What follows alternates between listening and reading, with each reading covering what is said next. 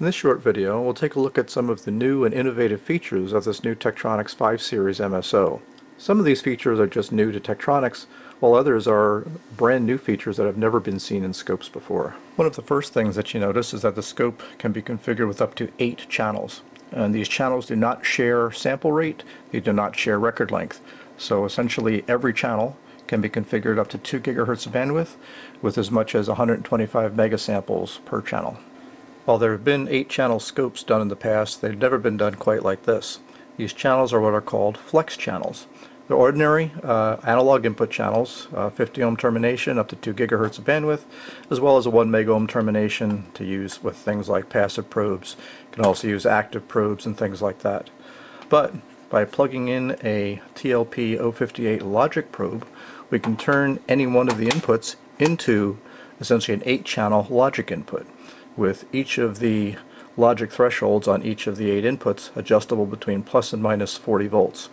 So now you've got the flexibility of making any one of these channels an 8-bit digital channel or an analog channel. So it gives you the flexibility of going anywhere from 8 analog inputs to 64 digital inputs on the same scope. Another standout feature is this 15.6 inch capacitive multi-touch high definition display with 1920 by 1024 pixels of resolution. This kind of resolution adds a lot of capability to what can be done with this display.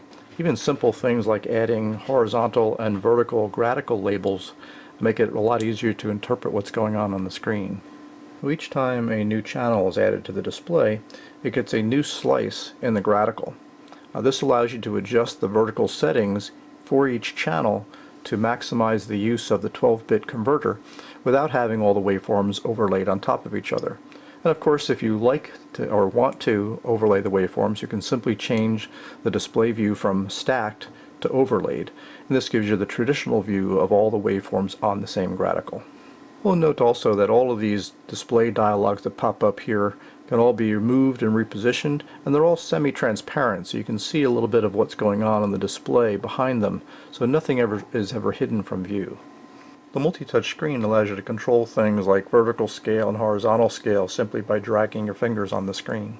The measurement system's got some interesting capabilities as well. Let's add say a rise time measurement to this waveform and that shows up as a badge over on the side here we double tap that badge, we can go and configure various things, such as showing the statistics within here.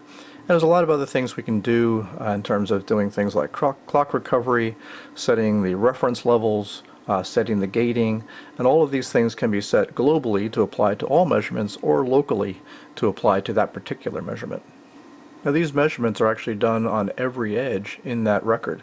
So in fact, if we stop this and tap on the measurement badge, I can actually scroll through and look at each individual edge and what that measurement was, or find the minimum or the maximum of that measurement within the record.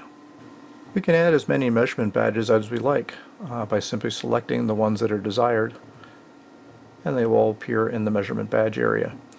If there's one you added that you don't want, you can simply take it, drag it to the trash can, and it goes away. A result table for all the measurements can be added, and we can change the bias of that uh, with respect to the waveform display. Now for each of the measurements additional plots can be added as well, uh, such as a time trend of that measurement, a histogram of that measurement, and even a spectrum of that measurement. So it will give you a lot of insight to what's going on with your measurements over time and frequency. And of course the position and orientation of each of these plots can be moved around at will so you can decide what you want your display to look like. Each channel features a 12-bit converter, and in high-resolution sample mode, as sample decimation goes up, we can get as much as 16 bits of vertical resolution. One question that might come up, does this scope run an embedded operating system like low-cost benchtop instruments, or does it run Windows like the higher-cost uh, performance scopes? And the answer is either.